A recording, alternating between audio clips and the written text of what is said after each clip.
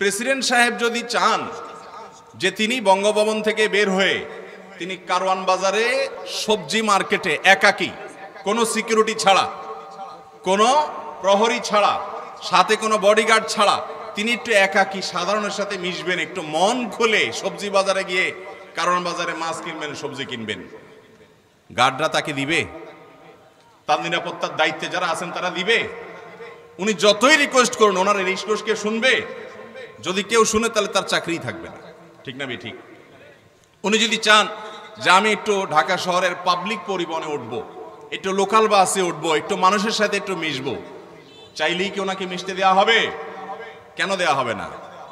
ওনার নিরাপত্তার কারণে। ঠিক না ঠিক তো প্রেসিডেন্টকে যে গার্ড দেয়া হয়, তাকে যে নিরাপত্তা বলয়ের মধ্যে আটকে রাখা হয়, তিনি যেখানে যান, তার সাথে যে সেফটি সিস্টেম থাকে এটা তার কল্যাণে, এটা তার সেফটির জন্য, এটা তার নিরাপত্তার জন্য। পৃথিবীর কোনো মানুষ এই লোকটাকে জেলখানায় বন্দি, আহারে দুঃখে আছে, কষ্টে আছে, এরকম কোনো কথা কেউ বলে?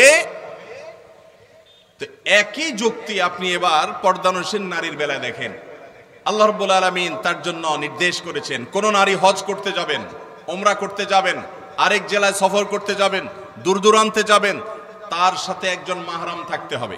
একজন মাহারাম তার পরিবারের একজন পুরুষ থাকতে হবে। যে পুরুষ তার সাথে থাকবে গার্ড হিসাবে।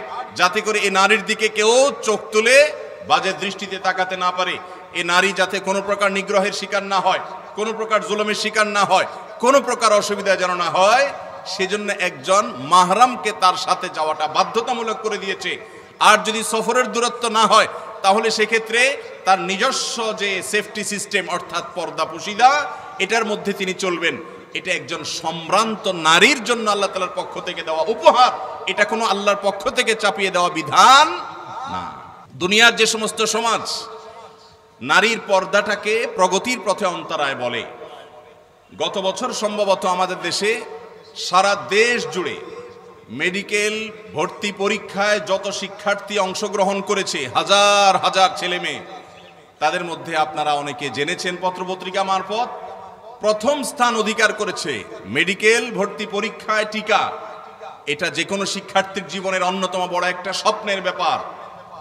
সেই পরীক্ষায় শুধুমাত্র টেকা নয়, বরং সারা দেশের সমস্ত শিক্ষার্থীকে পিছনে ফেলে একজন আপাদমস্তক মাথা থেকে পা পর্যন্ত বোরকা পরিহিতা পর্দানসীন মেয়ে শিক্ষার্থী তিনি প্রথম স্থান অধিকার করেছেন।